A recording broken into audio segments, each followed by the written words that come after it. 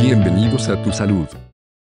Limitaciones y riesgos del escáner de iris de los nuevos Samsung Galaxy. El escáner de iris del Galaxy Note 7 y Galaxy S8 y S8 Plus es peligroso y solo funcionará bajo ciertas condiciones. Usar una luz infrarroja y la cámara para leer el iris será un buen método para zonas oscuras o ángulos de visión extraños. Ahora bien, pese a que parece que será bastante potente va a estar limitada por ciertos aspectos. Se recomienda que el escáner de iris se haga al menos a 20 centímetros del ojo del usuario y por eso Samsung recomienda usarlo a una distancia de entre 25 y 35 centímetros. Este haz infrarrojo podría causar daños en los ojos del usuario o piel si se usa en muy cortas. El escáner de iris no está permitido para niños pequeños o bebés, pues este puede dañar los ojos de los más pequeños de forma fácil. En caso de que el usuario del Note 7 tenga gafas, lo mejor es que las quite para escanear el ojo. Las ópticas pueden hacer que el escáner de iris no funcione de forma correcta y esto va a ser un problema para todas las personas que usan gafas. Ya no creemos que quieran quitárselas cada vez que deseen usar el escáner de iris. Tampoco se está seguro de si las lentillas o influirán o no, pero es probable que sí provoquen algún tipo de distorsión.